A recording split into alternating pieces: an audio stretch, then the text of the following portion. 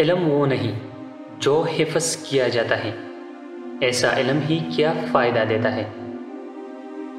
आप कहते हैं कि आप सिर्फ़ एक जिसम हैं, लेकिन आपके अंदर कायनात से भी बड़ा कुछ है। वो जो अपने भाई को चुपके से नसीहत करता है, इसने खलूस से नसीहत की है और इसे इज़्ज़त बख्शी है। अगर वो ज़ाहिरी तौर पर दूसरों के दरमियान है। ऐसा करते हैं तो इसने इसकी बेइज्जती की है और शर्मिंदा है। तमाम इंसान मर चुके हैं, सिवाय इन लोगों के, जो इल्म रखते हैं और जो लोग इल्म रखते हैं, सो रहे हैं।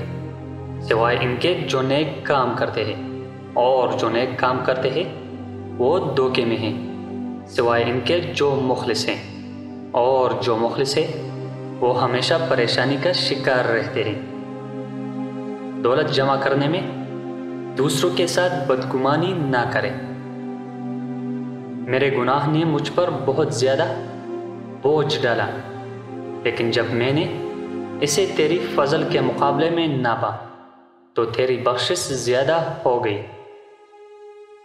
चार चीज़ें बदन में कुत पैदा करती है। पहला गोश्त खाना। दूसरा खुशबू सूंघना। तीसरा कसरत से गसल करना। चौथा सूती कपड़ा पहनना।